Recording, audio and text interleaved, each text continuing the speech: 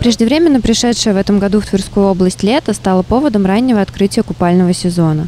Тверичане традиционно начали стекаться в жаркие дни к водоемам. Несмотря на кратковременное похолодание, летняя жара, по прогнозам синоптиков, в ближайшее время вернется, а значит и купание можно будет возобновить. К тому же впереди пора школьных каникул, когда к воде потянется множество детей, а это всегда связано с определенным риском. В преддверии летних каникул спасатели провели день открытых дверей для школьников.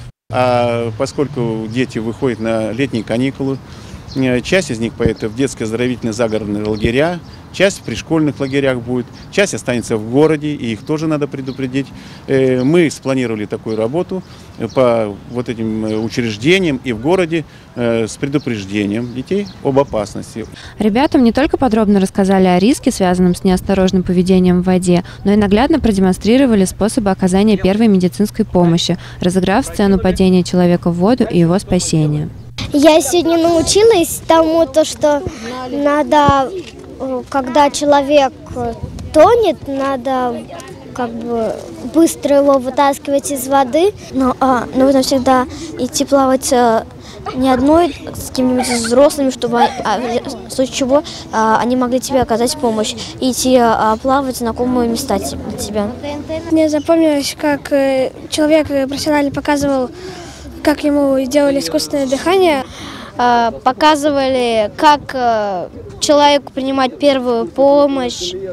Знание правил безопасности на воде, несомненно, пойдет на благо ребятам, но ничто не поможет избежать трагических ситуаций лучше, чем родительский контроль. Дети ни в коем случае не должны без присмотра находиться в водоемах или около них, в очередной раз напоминают в ГИМС. Но, как показывает статистика, зачастую взрослых не заботит не только безопасность детей, но и своя собственная. Есть статистика, вот э, она такая, что за минувшие выходные 7 человек у нас утонуло. И семи человек, э, шестеро связаны с употреблением алкоголя.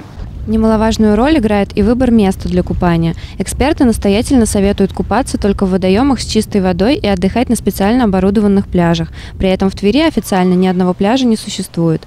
Более того, согласно данным лабораторных исследований Роспотребнадзора, вода в традиционных местах купания тверичан, таких как река Волга в районе городского пляжа, Тверца около Тверецкого моста и Тьмака в поселке Первомайский, не соответствует санитарным требованиям по микробиологическим показателям.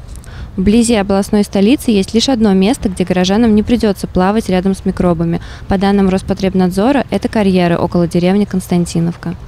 Анастасия Николаева, Максим Андреев, РЕН-ТВ «Пилот».